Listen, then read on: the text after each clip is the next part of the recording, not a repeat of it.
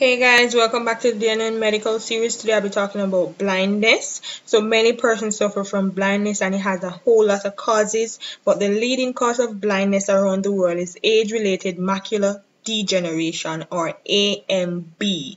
So this is basically a buildup of deposit on the macula. So the macula is a small area in the center of the retina and it can also be caused by abnormal blood vessels developing under it. So other causes of blindness include like glaucoma, uh, pressure on the optic nerve, diabetes, which which um, causes diabetes retinopathy and that, that damages the retina and can cause blindness. So possible treatment depending depends on the cause of the blindness and it can include cataract surgeries, eye drops, laser surgeries and so on and so forth. So that's all for blindness today.